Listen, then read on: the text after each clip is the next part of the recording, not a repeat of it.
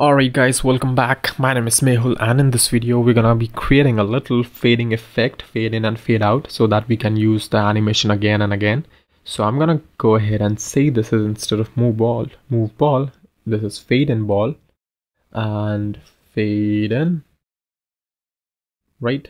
And I'm gonna have a similar button which just says fade out, fade out, right? Fade out ball, whatever. Alright, so once we have that in place, what I really want to do is, let me just go ahead and get rid of this. Hopefully you have now seen and understood how this all works. So I'm going to say this is opacity, opacity now. And I'm just going to go ahead and give it an opacity. So what I'm going to do is I'm going to create a couple of functions here, as you might have guessed by now, fade in ball and fade out ball.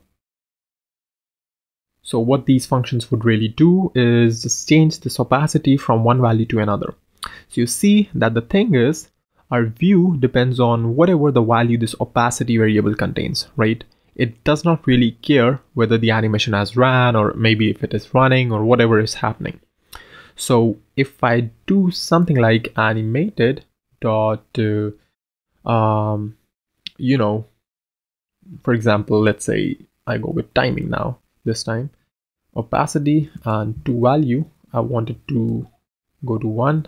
Duration is a second and I want to use native driver yup every time if I can and I'm gonna start this. So it changes my opacity to whatever it is not really zero whatever it is to value one right? And a similar thing can be said for fade out as well but this time I want to change it to whatever opacity is to value zero and obviously I want to use native driver. So if I go ahead and run this, reload this bad boy, only if it would allow me to.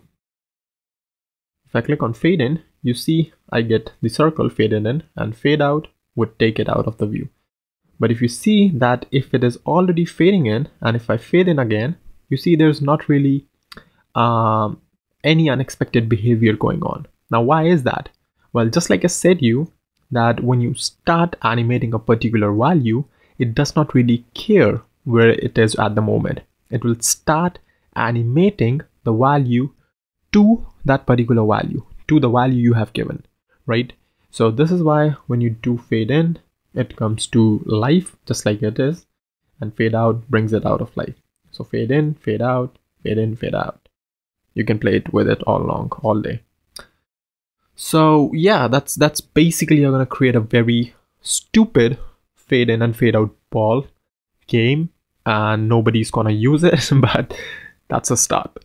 So that's all for this video. If you liked it, don't forget to like and subscribe. Thank you for watching and I'll see you then in the next one really soon.